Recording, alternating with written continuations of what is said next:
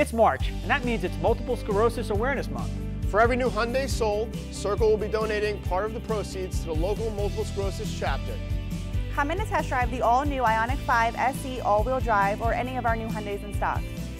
Come join the Circle family and help us make our mark on MS. And don't forget about our huge inventory. Woo!